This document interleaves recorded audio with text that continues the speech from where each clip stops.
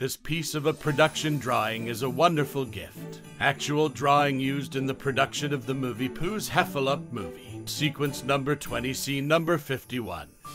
Greetings and welcome to today's edition of the Wonderful World of Animation's Unique Holiday Treasures. Today we are proud to feature an original animation drawing from Walt Disney Company's 2005 release, The Heffalump Movie, which was the fourth adaptation by the Walt Disney Company taken from the Winnie the Pooh stories.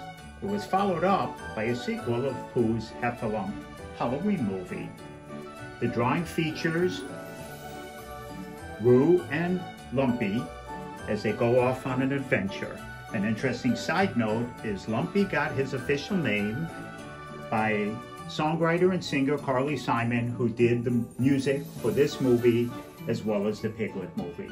This original animation drawing can be yours this holiday season from the Wonderful World of Animation.